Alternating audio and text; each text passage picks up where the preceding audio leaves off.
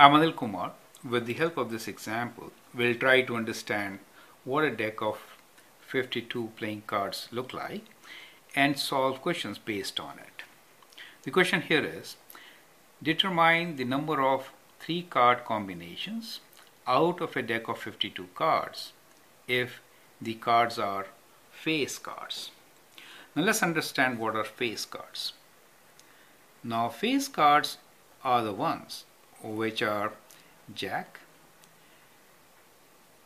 Queen or King, right? So these are the three face cards. Now in a deck of 52 playing cards, I should say standard deck of 52 playing cards, we have four suits, right? So we have uh, four suits. That means we could have Jack of Hearts, we could have Jack of Diamonds, we could have Jack of Spades, or Jack of Clubs.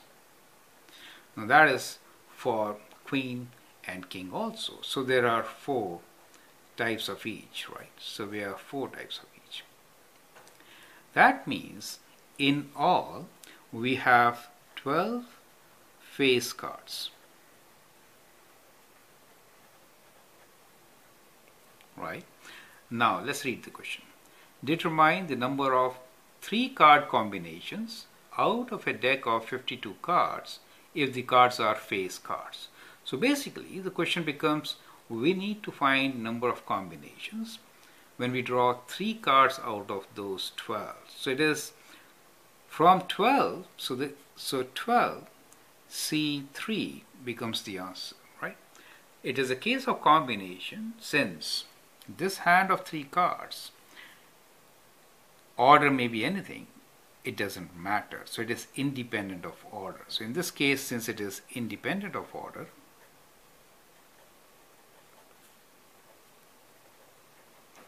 is a case of combination, right? It's a case of combination. So these are the things which you need to understand when you solve such questions, right? Now 12C3 could be calculated uh, using the formula, as you know, that is 12 factorial divided by 3 factorial times 12 minus 3 factorial, right? Or you could use directly uh, the combination NCR function on the calculator. So we have 12 C 3 equals to, we get 220 as our answer. So it is 220, right? So that will be the answer for us. Or you could calculate and verify. I hope with this you understand what face cards are and how to find how many of these combinations are possible. I hope that helps. Thank you and all the best.